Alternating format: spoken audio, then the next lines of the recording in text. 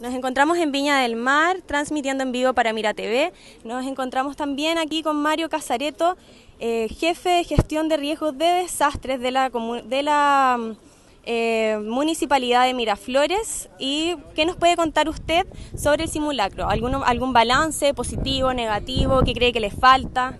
Mire, ver participar a casi 40.000 personas en un simulacro eh, prácticamente para nosotros es un un tema espectacular, diría yo, ¿no? porque se ve la participación de todas las entidades públicas, privadas, colegios, nidos, eh, restaurantes, comercios. Creo que la participación es total y creo que ese es el éxito de poder lograr en un futuro evitar muertes o consecuencias fatales en un terremoto que tenga consecuencias tsunami en esta zona como es Viña del Mar.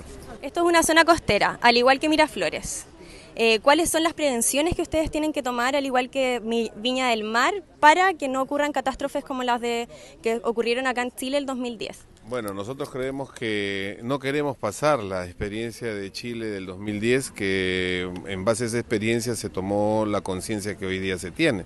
Nosotros queremos llevar estas experiencias a Perú, a Miraflores, y poderle decir a la gente que queremos salvar vidas, evitar que hayan consecuencias fatales, que la gente responda cuando son convocadas para un simulacro y que de alguna forma este resultado que hemos visto el día de hoy con la presencia de su autoridad máxima, que es la alcaldesa de Viña del Mar, nos pueda pues dar una, una enseñanza de cómo lograr captar. Y lo que vamos percibiendo aquí es que todo comienza desde el nido, cuando el niño ya está en el nido, cuando el niño empieza a subir grado a grado sus estudios, ya tienen esa preparación. Creo que ahí está el punto importante que debemos aplicar nosotros eh, aquí en, en, Viña del Mar. Hemos aprendido muchas cosas importantes para poderlas volcar en nuestro distrito. O sea, el balance es positivo.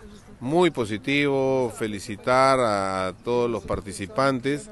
Aquí el director Jorge Cafena de Protección Civil y Seguridad Ciudadana de, Viña del Mar nos ha dado una escuela eh, increíble de cómo se maneja un simulacro de esta naturaleza. ¿no?